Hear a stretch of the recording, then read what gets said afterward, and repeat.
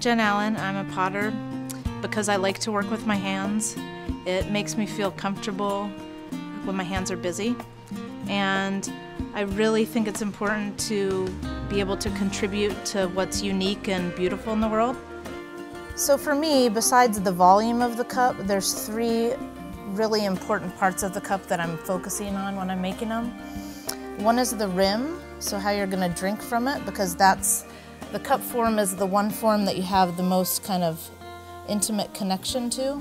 It's the only one that you put to your mouth. So I wanna make that a pleasant experience.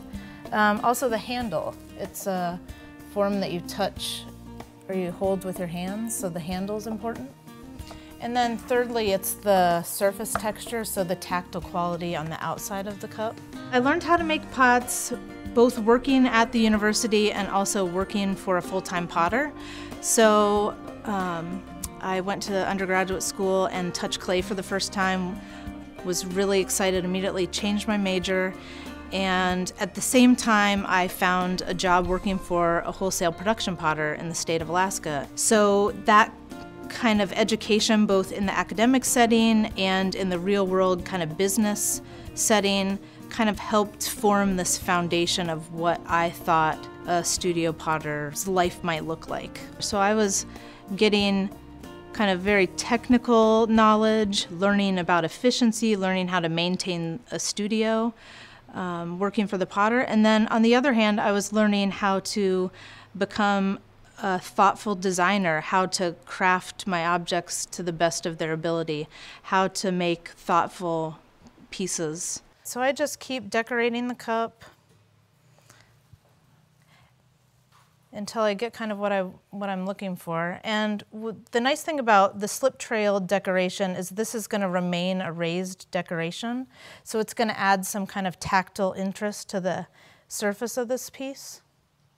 So for me, there's clay is like no other material in that it records the process of touch. For the process to be frozen in time for eternity, I'm thinking about when I saw this exhibition of Bernini's sculptures at the Met Museum and how this process mark would trail and end with a fingerprint and to know that that fingerprint was Bernini's is just something that is magical. Just that, I guess it's the human connectedness between the objects, the maker and the user, that is just really invigorating. I use porcelain, and one of the reasons why is my first experience with ceramic objects was at my grandmother's house. We would have Thanksgiving dinner, and she had a wall of china cabinets, and they were all kind of on lockdown until the holiday meal was set. But those objects are really beautiful and they're special in that they dress the holiday table. The thing that I don't like about those objects as far as my own work is that they're not accessible on a daily basis and for me that's really important. Like I really want people to not be afraid to use my work from day to day. So I like the glimmer of it maybe looking like it could be set in a china cabinet, but the intention of it is that it's made, you know, for daily use. So I like both raised decoration as well as recessed, so both additive and subtract subtractive.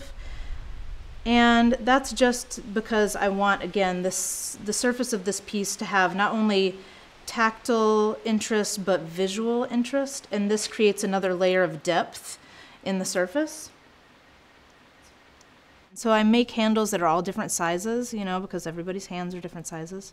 So the handle is important. That's the way that people interact with mugs, pitchers, and that's why a lot of my forms all have handles because I really like working on how to make an experience with a handheld object pleasant.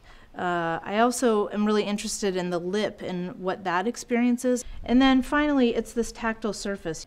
I think about the Peanuts comic strip with Linus and his little blankie, and how how that's like for him that blanket, or with children too. There's that comfort level, like with the pacifier or with the blanket.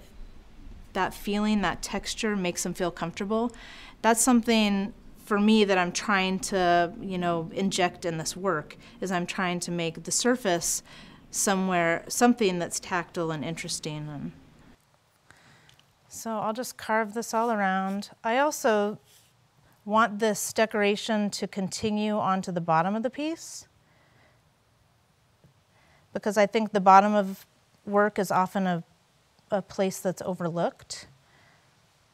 So thinking about what it looks like in the dishwasher or at the bottom of the sink, all of those things to me are important. So continuing this decoration down into the bottom is something that I've started to do. So I pull a lot of inspiration from a variety of sources. You know, I'm crazy about historical ceramics. You know, Oribe ware is one that comes to the front of my mind as I'm talking, um, and also British medieval ware. And those kind of forms um, and also the surfaces, I think, help inform my work. I look at times in design where there's a sense of optimism or progress. So post-war textiles, Edo period kimono, um, arts and crafts era, you know, so I look to those for, you know, inspiration as well.